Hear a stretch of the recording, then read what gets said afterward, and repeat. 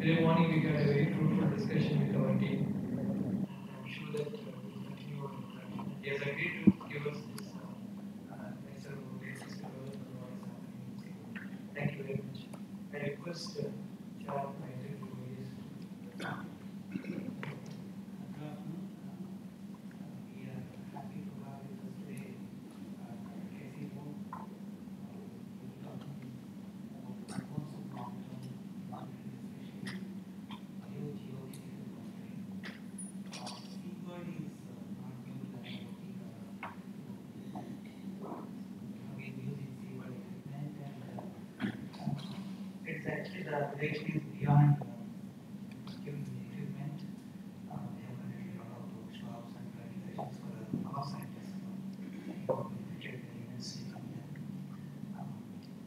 people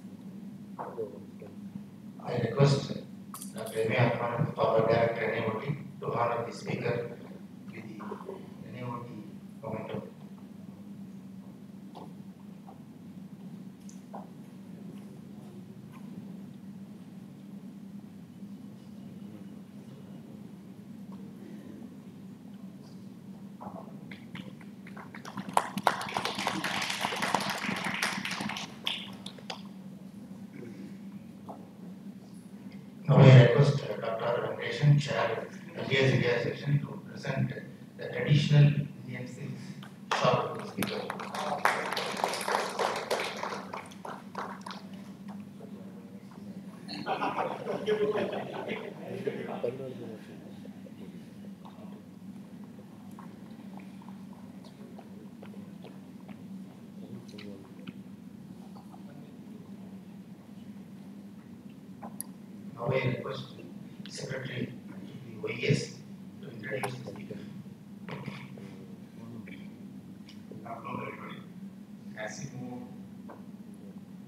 as President of Silverside, a world leading oceanographic institution since 2013. Casey co founded WET Labs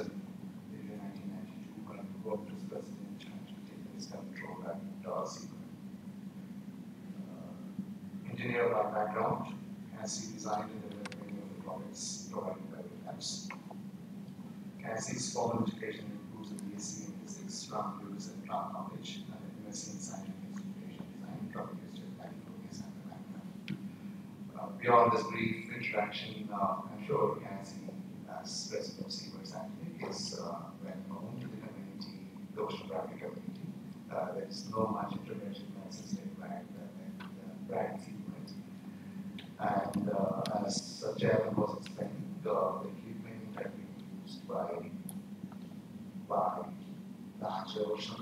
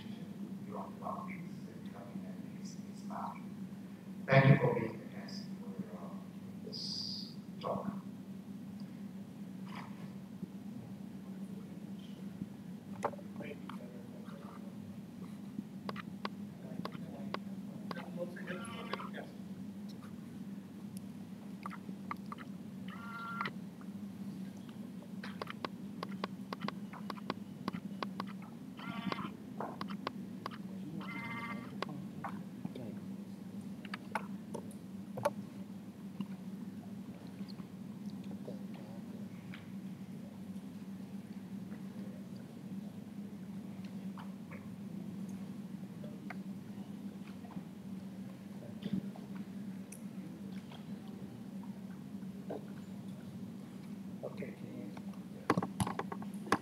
Well, thank you, everybody. It's a pleasure to be here today. Uh, I was telling Vincott last night that uh, I have been planning this trip for five years now. Uh, I had worked 2013, 2014. I said, I'm going to make it over to India this year. Anyway, I finally made it, so it's a pleasure to be. Uh, as my background briefly described, Mike Tell, or as a Mike not tell, I- I've done a lot. There's a lot of different roles in the work that I've done. I pushed brooms, I've done design work, I've managed people, I've uh, watched companies sell and become bigger companies and been a part of that. But today I'm doing one of my very favorite things, which has always been the real reason I like doing this work. I'm getting to talk about what happens when we build something and we get to see what it can really do. And that's, that's what I like to do. So I'm going to briefly discuss what Seabird is today as a company. I'm going to talk briefly about uh, how we see this era of uh, ocean observation that we are in as a community. I want to talk about the role of some of the new tools that are available to add to the capabilities that we hold. And finally, I want to show a few of these stories that, uh, once again, speak to what these new tools can really do. This is Seabird today. We're uh, approximately 200 people. Um, we have uh, five global locations around the world, two in the United States, one in Canada, one in Kempten, Germany, and one in Beijing, China. We are a science company. We are engaged in the development of oceanographic sensors that we share with the community, that we provide to the community. And this is our role, to enable you to do good science in the oceans. Um, solutions, you're very familiar with the types of applications we deal with. And I'll talk a little more about some specific applications as we go forward. So, in my mind, we are right now really at the early stages of the second great era of ocean observation. People might have differing opinions of this, but my view is that the latter part of the 20th century, the ocean observations were really about validating fundamental physics, optics, some radiative transfer, potential biological information, natural science. It was really this era where we began to build that basic understanding of what the ocean does and validate the principles of ocean physics, chemistry, biology. Um, the second era started, give or take, um, late 90s, early 2000s. And this is the era where we really began to expand our observation and understand the problem of flux, be heat transfer, more recently, maybe carbon. So we're really at this time where we're expanding our capabilities, we're coming together, we're putting out larger sets of systems. And now as we capture what the community is, we have hundreds of local, regional, global OOS organization, ocean observing organizations around the world. We are definitely working more and more as a global community and looking at the observations, and comparing our results, and uh, working together to build better systems to look at the interaction of various things going on in the ocean. And we're emerging our capabilities, our capabilities are emerging with autonomous sampling platforms, systems, and the various sensors that go on them. Um, we're actually using the data more and more and closer closer to real time. So we're starting to understand the processes as they are impacting the world right now. and we're making major ongoing investments to expand this. Uh, this picture, it's a picture of the global Argo temperature. These are, if you look closely, the various dots represent approximate location of Argo floats. This is salinity. It's just one, uh, I think, very iconic uh, example of where we stand in ocean observation today. It's not like we don't have room to improve, however. Um, we do definitely have limitations in our capabilities. Talking about some of these earlier today. Uh, I think chief among this, or among these, fouling. Fouling remains a severe limitation, especially for autonomous systems such as moorings and buoys. Um, you can figure out power, you can figure out drift and how to compensate natural drift, but fouling is something that still sticks with us. Uh, we still have, in all rare, most cases, fairly limited capacity with the types of measurements we can make. Uh, this is especially true as we move into biology, where things like speciation and classification of different organisms and understanding ecosystems, that's still not something we can do really well. We have problems with platform system reliability, sensor reliability. We have issues with bandwidth and telemetry. As we expand these capabilities, how are we going to manage terabytes of communication from very remote locations? How are we going to do that? It's fine if you have cables, but what about the buoy that's sitting out in the middle of the ocean? And we have problems, which I think is one of the key problems going forward. We have problems with data assimilation. Um, down here at the bottom, I have a workflow diagram we made at Seabird a year ago that sort of captures the various steps from actual collection of the data to here at the other side, really being able to post the data and use it as a finished product. And you go, you're familiar with these various steps. You have to get the data measured. You have to capture and transmit the data. You have to ingest the data or upload it, download it to the main systems that you're going to do the evaluation. And then comes the data check, QA, QC, initial availability to the users so they can start to build higher order products. On and on it goes. Point is, from our calculations, generally speaking, the time that it, from the time you actually capture that initial data to the time that it's useful in the community, you're often talking two or three years. That's something we've got to address. So here's the state of the future, right? This is the way it's going to be. We're going to have various different types of platforms cruising through the ocean, all networked together, collecting data. Ships will be out there doing sentinel work, sort of working as the aircraft carriers in modern oceanography. Buoys will be along the coast and the open ocean. And it, it's all going to work together as a seamless system. I think that that's a reality that's going to come, frankly. Uh, autonomous data streams will be providing the bulk of our measurements as we go forward. That doesn't mean we're going to quit using ships. Ships will be integral, but most of the data will be coming from the autonomous platforms.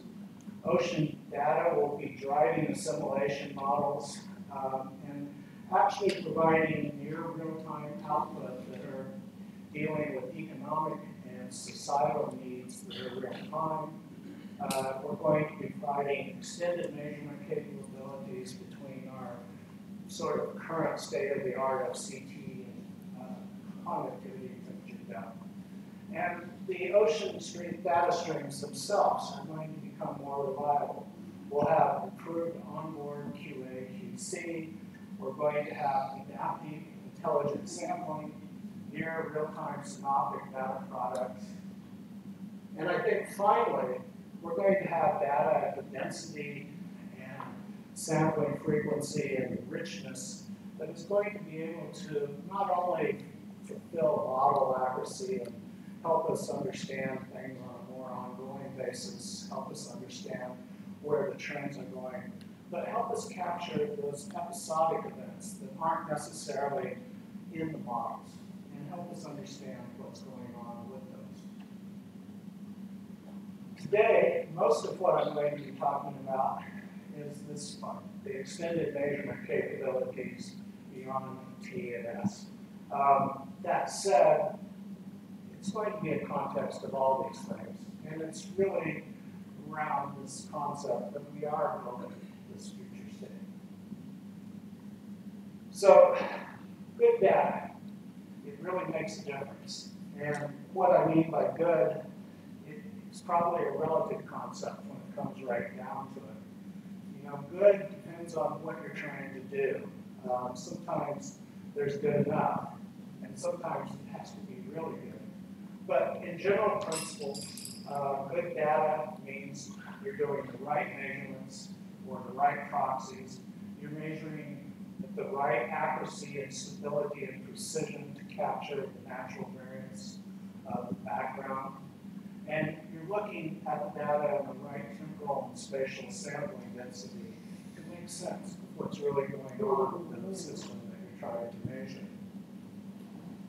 One example that just sort of happened, as it were, that shows what good data can do for you. Um, not going to spend a lot of time on this, but it's an interesting story. Uh, in the United States, there's this community in Florida, Stuart, Florida.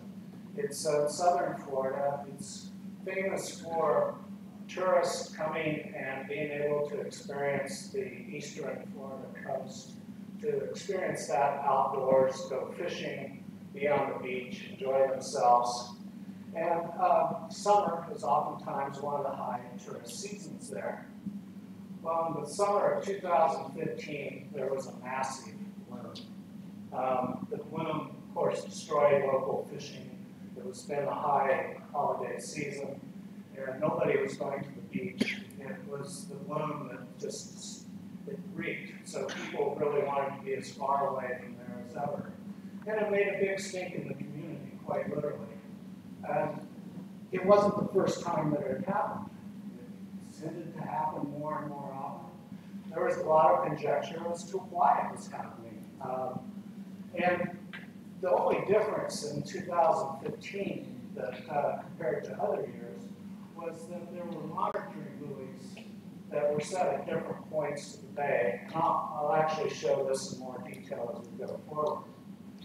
Onward to the conjecture. The conjecture was that there was a lake upstream of the bay, of the estuary, that during the summer, the state uh, regulators would release discharge from the lake, and it would inundate the bay with high phosphate levels, and thereby you would have a situation where you create big blooms. Well, the difference in 2015, once again, is the buoys were there to tell what really was going on. It wasn't about the phosphate. What was really going on is, yes, they were doing the discharge, but it, the actual phosphate levels, while higher, weren't that bad. But with the high discharge, they were creating a back pressure into the bay. So waters that were coming in through normal tidal currents weren't able to get into the upper reaches of the bay, and the back part of the bay became stagnant, and that created the bloom dynamics. So suddenly we have a situation, this is a actual uh, CDOM versus phosphate data. The reason it's there is because it gave us a signature of the water from the different types. And with these different signatures, we could tell where the water was coming from. This allowed us to understand what was going on in the system. The state was able to quickly grasp that if they coincide releases of the water with tidal cycles, they can flush, the tide went away, or the harmful bloom went away, and things work much better going forward. That's what good data can do. So, we understand, I mean, there's a strong familiarity within the community about conductivity, temperature, depth measurements. These sensors are getting very good. Um, we're proud of our capabilities with our products. I think other companies are coming out with good products. So what I wanted to talk about today mostly was, these other capabilities that we can bring going forward. And this helps us sort of fulfill this picture of what we can do with better data. And so, with the biogeochemical world, what we're really talking about in sort of general terms is the ability to look at carbon, carbon in its different forms. And we have the chlorophyll, its pigmentation, sort of looking at active biology. We have particulate dissolved organic carbons, uh, particulate and dissolved organic carbon, looking at uh, remnants of biological activity, looking at both active and dead biological life. We have nutrients and dissolved oxygen, and then we have dissolved inorganic carbon. These are the products that Seabird contributes to the various biochemical measurement capabilities. We provide pH, we provide various nutrient sensors, DO. And so these are the tools that I'll be talking about and showing different capabilities. I'm going to start by talking about the BGC on floats. Um, we all are aware of the Argo program. All aware of the capabilities that Argo has provided. And most, many of us are aware that there's early efforts, nascent efforts to get a BioArgo program going, where we're expanding the measurement capabilities of the programmable floats to extend to, excuse me, to extend to other parameters such as oxygen, chlorophyll, uh, dissolved organic matter, etc. Um, Seabird has been actively involved in developing these capabilities for floats. We have a variety of different configurations that we offer for doing measurements of BGC in the water column with floats.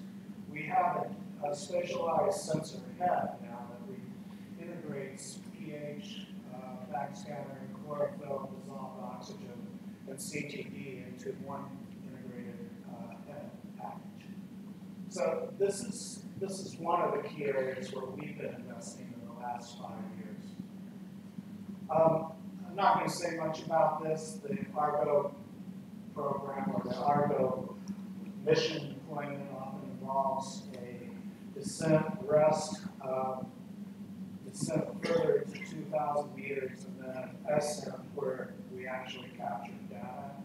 Um, sometimes BGC data programs differ a little bit. We want to perhaps sample more frequently and do a higher uh, intensity at near the surface than the, the deep waters. But what we found in our own testing is even in standard Argo mission uh, programming, that there's a lot to be seen with BGC information. I'm going to show you two examples of why I think BGC really adds to our picture of what's going on in the ocean uh, with floats. This data is about 16 months of uh, data from a single float. It's uh, captured offshore near Hawaii in uh, oligotrophic waters, high light, low gradients during the year, not a lot of variability uh, over the seasonal changes. Um, with sigma you know, full top to bottom gradients on the order of about 20%. Here is dissolved oxygen and chlorophyll from that same float during that same time. Notice the difference in the variability uh, for those same waters looking at the same mass. You notice that the oxygen varies by almost an order of magnitude. And if you really look at the limits of detection with fluorescence, it's by almost two orders of magnitude. So right away, what we begin to see with biogeochemical measurement is in these areas where we have relatively little change in physical parameters, we start to see a lot of impact in the couple of biological and chemical systems that are uh, going on at the same time. The second example points to the bigger reason we want the biogeochemistry. We're here looking at a float deployment that we let loose in the Mediterranean Ocean, sort of following the coastline and coming out here off Florida and just sort of circling around. This was a sixteen month deployment, and uh, during this time, we saw a seasonal overturn event. Um, It was a fairly significant event. It, uh, We put it in late August, early September, and we had some stratification in the water. As that stratification disappeared, finally, we had this overturn. And we really saw our gradients. If you look here, I'll show you a little better picture in a minute. Really, the gradients in the Sigma-T just went to nothing, but really no change at some point during that February time period. Once again, this is oxygen and chlorophyll for that same time. So during the early going, there was uh, reasonable stratification. This cuts in a little later into the year, so we can really watch what's going on. Um, some stratification, and then as that overturn event happens, the stratification disappears and the gradient change disappears. But the thing to note is that it doesn't go to zero or it doesn't disappear at this time. There's uh, physical quantities of chlorophyll and oxygen that are being pushed into water column. When we, I'm going to run a little, let's see if I can get it here. I might have to go over to the That's not what I want to do.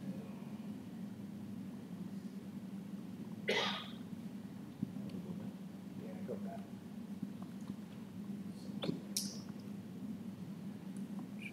Whoops.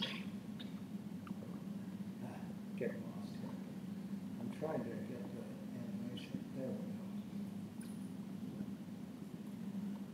go. Okay, so now we're watching sigma T and oxygen and chlorophyll over that course of time.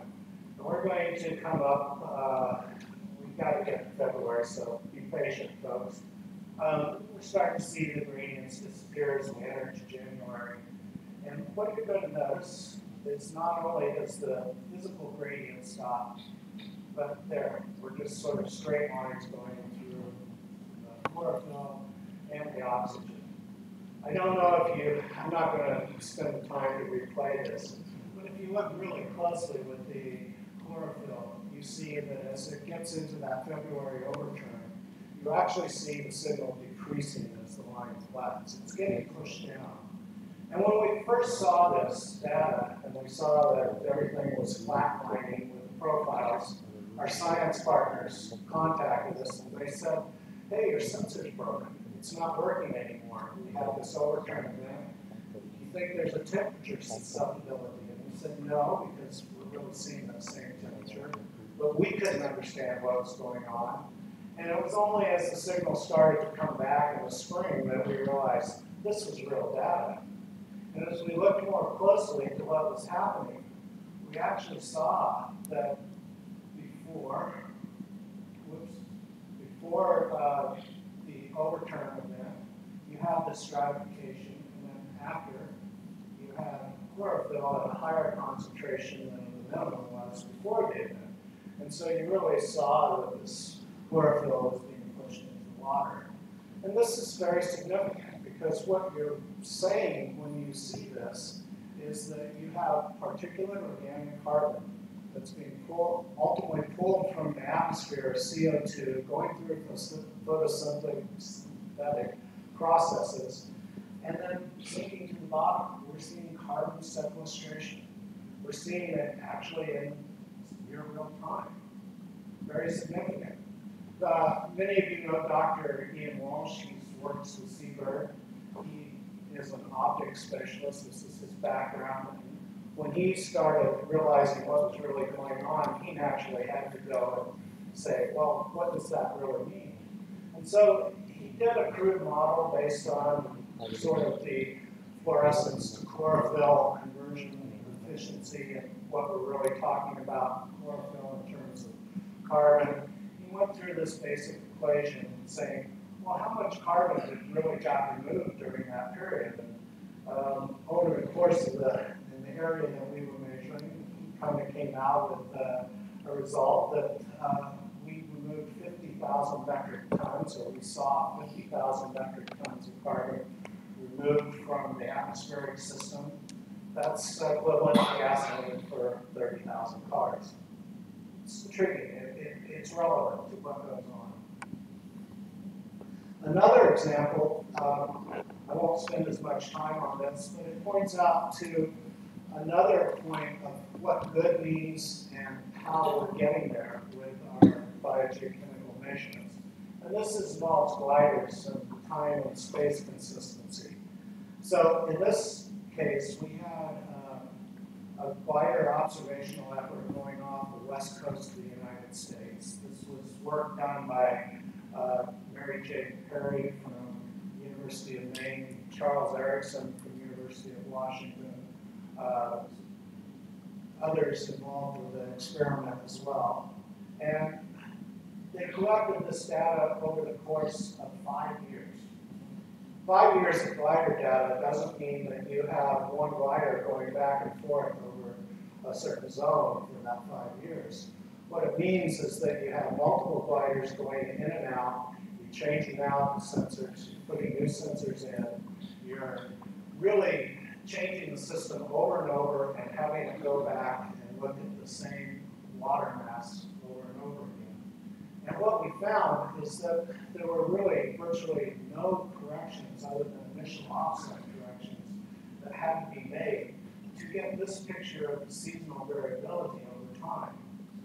Um, you can see sort of when the bloom dynamics happen every year. We had a couple of times where we were missing the data because the gliders weren't But you really have five years of continuous data being repeatable multiple sets of sensors.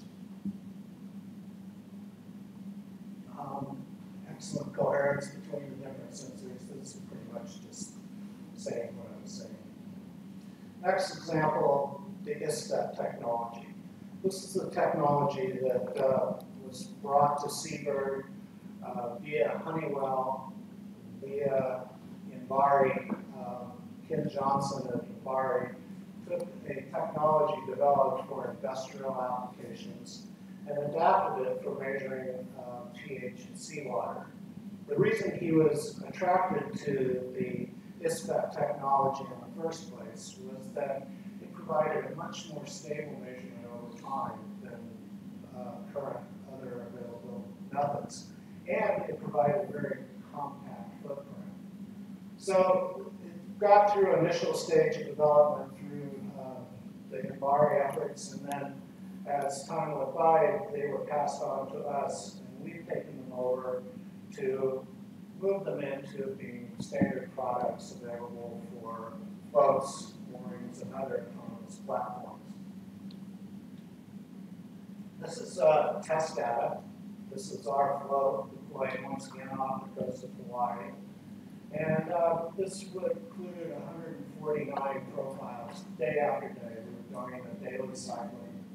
And meantime, the hot site has a lot of ongoing ship monitoring, so there were boats going in and out to do comparison relatively close to the site. And you can see that we have good agreement. We have some biasing that we still are trying to address in our original calibrations. Um, the calibrations for this sensor are quite complex. But the key in this really is the stability that we found. Uh, we were going for this stability factor that was sort of passed on to us when we took it on of 0.003 pH units per month drift. Um, in actual fact, our drift numbers fell well within that, and we're seeing very low drift coupled to uh, Argo platforms. This is the LOBO systems or the buoys that I, we were talking about in the initial story of what was going on in Stuart, Florida. Um, these buoys are very well outfitted in terms of biogeochemical sensors. They have various optics. I was showing phosphate data. Um, they have phosphate and nitrate both, as well as chlorophyll and other uh, various biogeochemical measurements.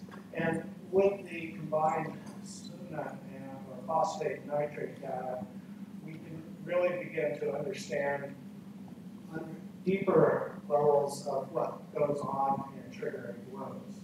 Um, certainly, the amounts of phosphate and nitrate in the water play a role in the blooms. Um, there's, I think people here that are familiar with biology Redfield ratios where we have um, sort of this certain ratio of uh, phosphate and nitrogen that once exceeded, we tend to find ourselves in uh, great conditions for creating blue-green, blue-green algae, which is often related to harmful algal blooms. It's not necessarily, but it's often uh, a species or family of blooms. This is the system that we're talking about. So we have multiple inputs into a common estuary. Um, mouth of the estuary is feeding in. This is uh, sort of the basin. This is one of the inputs. This is another. Um, it's a fairly complex system, actually. I think I got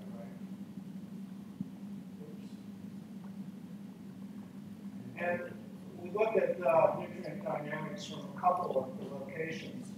And in the feed locations from the inland sites, we see very high ratios of the nitrate to phosphate. And these are the ratios that are actually where the phosphate or the blue harmful, blue-green algae is actually um, productive. And it's starting to uh, show signs it's capable of growing quite easily. Um, this is out towards the mouth of the bay where you're closer to a one-to-one ratio. There, it's not so much a problem. So you can see once again through the appropriate signaturing of the water, you can get a good idea of what to expect. This is an example of would have, could have, wish we would have had. Um, when the condo spill happened, the Deepwater Horizon buoy and the, or Deep Hot Water Horizon uh, oil platform in the Gulf of Mexico, when this uh, event occurred, unfortunately, there was very little out there to really uh, be measuring the impact of the spill that happened. Um, there were no autonomous systems out there at the time. There were no buoys near the platform. Um, and there were really no sensors that were verified to be able to detect the oil water.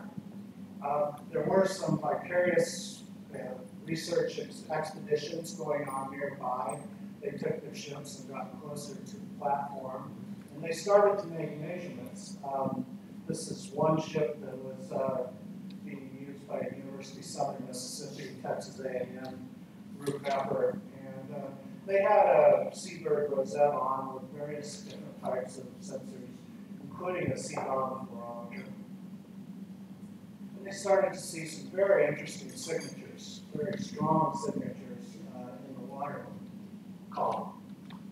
Problem is, is uh, we couldn't really say what those signatures were. We suspected that uh, this elevation showed a big intrusion from the platform spill, but nobody could say that for sure. A lot of the data that was collected from this ship and from other ships was actually given to NOAA. It was not published. It was held quietly for another year, year and a half, while they went through an evaluation effort to determine what the sensors that were making these measurements were really seeing. And at the end of that evaluation period, it was shown that indeed the CDOM measurement that was on this platform, some other particulate scattering measurements of dissolved oxygen, all these provided a very good signature of the oil intrusion. And so it was a very useful set of measurements that we understood that we had a year, year and a half after the event. What if we would have been able to take these measurements and make them, have them on autonomous platforms that were nearby the site when it was actually occurring? And that was our goal thereafter to make sure we have that capability. And we've developed it. Um, we found that despite the fact, or even though the fluorometer that we had on board could detect the oil, it wasn't a very good sensitive uh, indicator, and we had to improve the sensitivity of the unit. So we've done that with this new uh, CL device. We've uh, improved the effective sensitivity by about seven times. And we hope that as these start to be, this is part of the biogeochemical mooring or biogeochemical CTD for the floats. We hope as these are used more routinely, we'll start to be able to capture this type of event as well. Um, the type of sensitivity that we're talking about should allow us to actually detect an oil spill from a five liter per minute leak five or ten kilometers away. Once again, Ian's work is in hand here, but it shows that these tools could be useful on these episodic events. One more thing, um, I'm going to break away from the biogeochemistry and talk about uh, work that we're doing towards uh, deep measurement of conductivity, temperature, and depth. Um, I think some of you are aware of the Deep Argo program that's also in sort of nascent stages. Efforts are underway to have 6,000 meter floats um, sampling the ocean. And in order to do that, you need, in order to capture the variance, good data needs something more than what we have with our CTDs or normal Argo. Um, This is a test deployment that we decided, we've been working with others uh, that were here, uh, Dean Irving, Zilberman, Sutton, Murphy. Um, These were deployed, test units deployed in the southern Indian Ocean, off the coast of Australia, and off the coast of uh, Pacific in New Zealand. These were various sample parts. And here's where we stand with this. This is just a quick status for people so we can understand where we are. Um, what we have right now is we think we have a CTD that's useful for this type of work other than the 911 plus. Um, we have calibration issues that we're still working on. We tend to have a small bias, fresh bias in our conductivity measurement. So we definitely still aren't quite there. We have uh, salinity scatter of about 0.002 PSUs. So that's approximately an, almost an order of magnitude factor of five that we publish in our normal specifications for our um, and we have excellent drift, virtually no drift over time. So we do feel we have a capability that can match the capabilities of the deep Argo platforms with measurements that capture the backwa- background variability. I know I've kind of jumped from topic to topic. I appreciate your time today, but there was sort of one message or a set of messages that I was trying to get across as I did this. I think that uh, autonomous platforms and measurements do provide us with a new set of capabilities, and we're just at the beginning really being able to tap these and see the richness of the information that they can provide. Um, the real power with the autonomous platforms ultimately gets back to the data that they can provide. And the data in terms of biogeochemistry is progressing. We still have more work to do, but it's still, it's a work in progress. Um, do have the new tools that are coming on and they're themselves. They're actually working in the various applications that uh, use these platforms. And um, I think that's pretty much the story. I, I hope that I provided a little bit of new information for everybody. Thank you.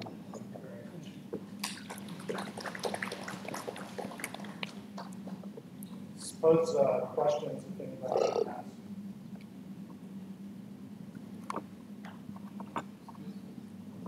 Yes. Yes.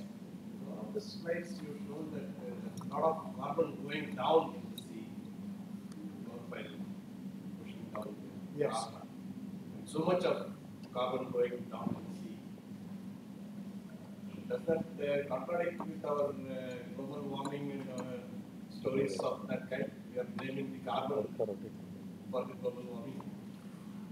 Well, what we saw in that was one, one part of a much larger story. You know, the carbon ocean interchange is very complex and it's a, it's almost a respiration story.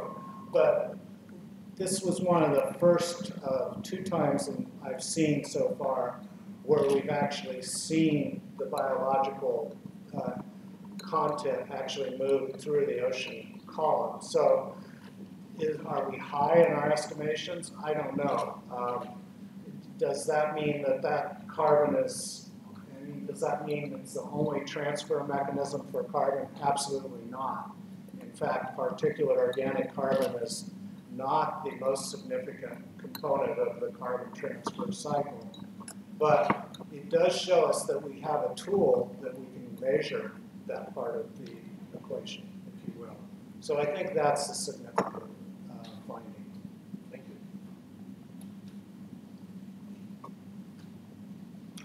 Okay, thank you. Yeah, question. Oh, I'm sorry. You were mentioning about your product, uh, sea outlet. What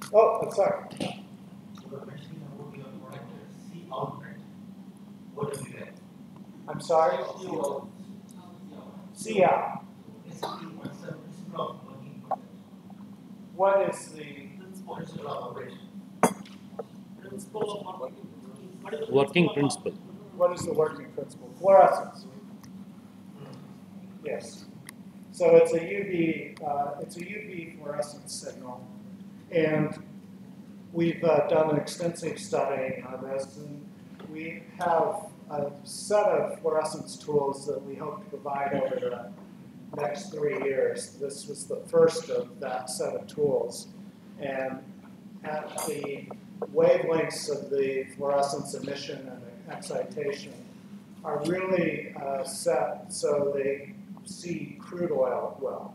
They don't see all oil that well in the water. As uh, oil decays, it sort of bifurcates into tar substances and very light crudes. And then the bacteria sort of start to feed on various parts.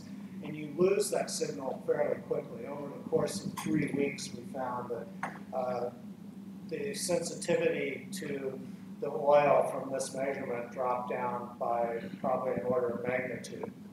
But for fresh crude, it works very well.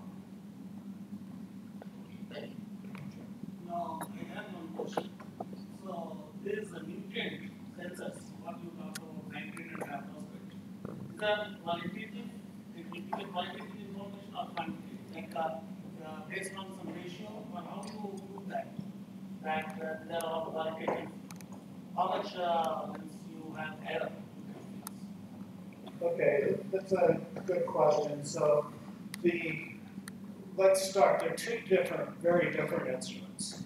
Um, The SUNA instrument is a nitrate measurement, and the way it's measuring nitrate is through looking at deconvolving deep UV spectrum, of the spectrophotometric measurement. And so what it's really doing is looking at a curve that's fairly complex, where you have a strong uh, slope due to the water itself. You have a slope or a big convolving hump of absorption uh, from bromides in the water. And then you have nitrate, which also has a very strong signature. So what it's doing is taking the nitrate curve out of the rest of that background and providing a quantitative estimate of concentration based on the amplitude of that curve. Um, ultimately, the way that instrument is calibrated is through spectrographic means where we're using standard spectrophotometer benchtop to look at various concentrations of uh, nitrate in the water. There may be some interference associated with nitrite that's still there, and that, that's probably the biggest interference, and then there may be some interference, especially for coastal work, with the CDOM, or background dissolved organic matter. We tried to take that out in convolution, but you do have error components.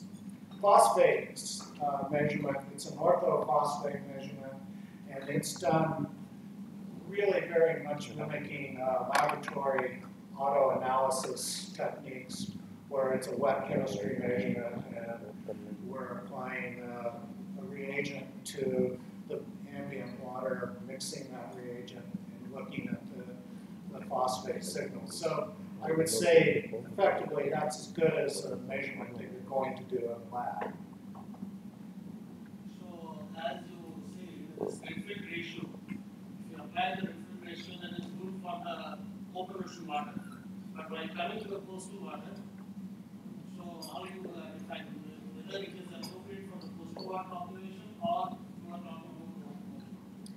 so most of the work that's been done with nitrate and phosphate combined has been done in uh, very coastal environments. This is, this is where we have fairly significant signals of both the phosphate and the nitrate uh, signals.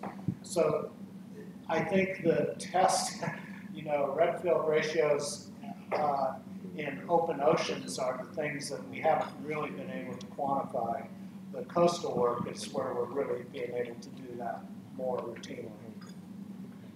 As to the veracity of the Redfield ratio itself and what it tells and what it doesn't, it, it's sort of a rule of thumb. I don't know how familiar you are with it, but it's in effect a rule of thumb sorts, and it's an indicator of when you're in ideal conditions for growth rather than an absolute. Uh, question connected with the nitrate measurements. Yes. Uh, when we have nitrate sensors in uh, near to glacier melts, uh, will the runoff will have any effect in measurement? Will Nitrate bias measurements near what? the glacier melts like we have a mooring in Arctic? Glacial So will that be uh. So, um, the, if you're really finding yourself looking at a freshwater system or something like that, um, we have correction methods for looking at fresh water. If you're looking at a system that just has high variability, our nitrate sensor probably does a better job of highly variable waters than anyone out there because it has a good correction for CDOM, which is sort of the contributor that in freshwater systems that really starts to dominate. Um, the bromide doesn't really factor in too heavily in creating an error term for when we have freshwater influx to the system. So I think it should work fairly well. Uh, I have one question as you said uh, about the, basically, this uh, validation of these sensors. Have you gone in different uh, environment, set of environment or limited to particular, uh, your locality or temperate tropical, in tropical it's maybe a different scenario. So what do you think? So lots of different environments. Um, we have tested in Mississippi Delta in the United States, off various coasts of the United States, Chesapeake Bay, um, various waters in China, uh, East China Sea, uh, the Seine River in Europe, the Mediterranean, the Irish Sea.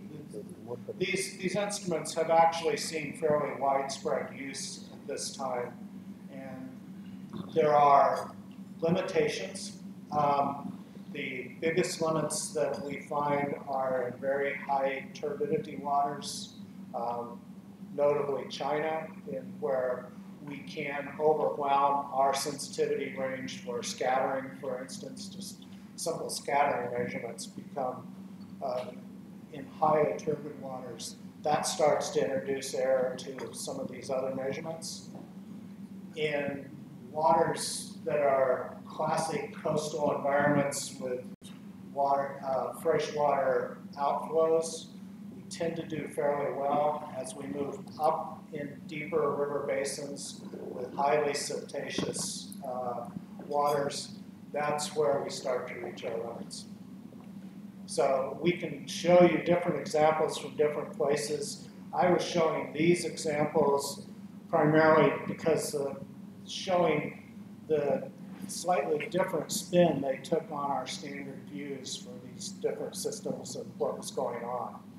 Um, the waters where we were looking at in the Florida example with the phosphate nitrate sensors, those are very high turbidity waters for the United States. They, I don't know if you're familiar with NTUs as a measurement method for standard turbidity, but we're talking 50, 60 NTU type waters. So they definitely have a lot of uh, stuff in them. Does that make everywhere? No. But I, I don't know quite how to answer. We definitely have found limits, but we've done a lot of work in coastal environments around the world and where we are at that true coastal margin, sort of that one percent salinity barrier to total uh, ocean level salinity, we find we do fairly well as a typical rule.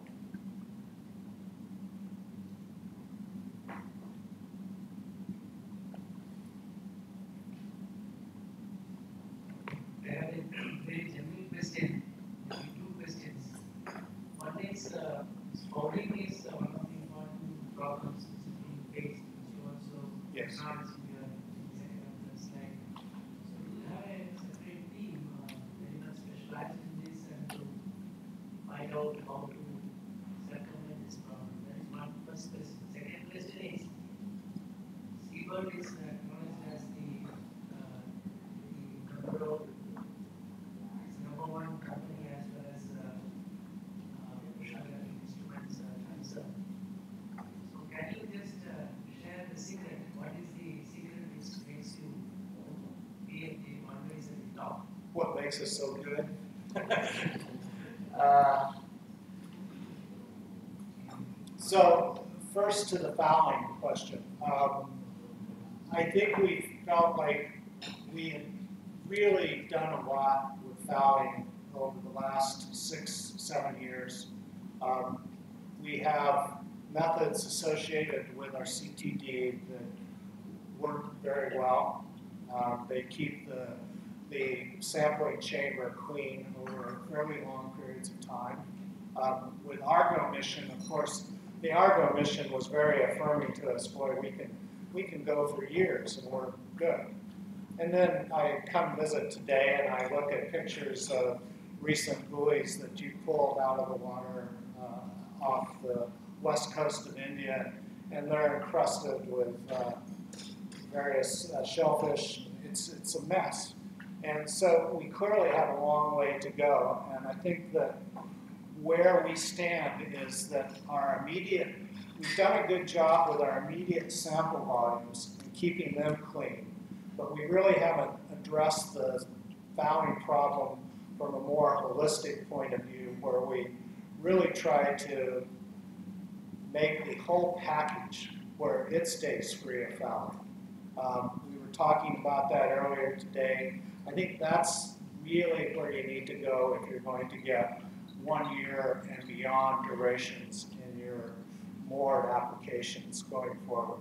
So that's where we're going to focus our efforts is being able to sort of develop a package that can be put in biologically active water for a year or longer.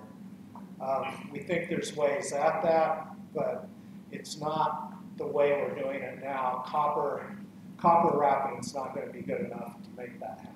So we have to move beyond that. We have to incorporate UV. We have to incorporate shape and surface of the package itself to improve that.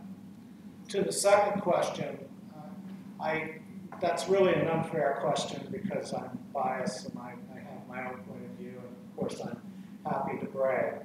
But I, I do feel that when I think of the people that work at Seabird, the passion that they have for what they're doing, I mean, almost every one of those people could be probably making more money somewhere else, could be doing something that's in a much more mainstream type of industry or application. But they do it because they like being there, they like doing what they do.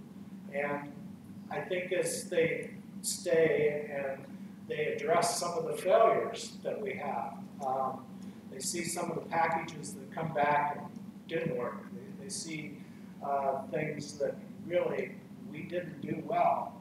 I think that learning really drives us to saying, what can we do next? And we actually follow through pretty well on making that next step in the evolution. So it's a lot passion and it's a lot the fact that we've stuck around and we're still here and we're still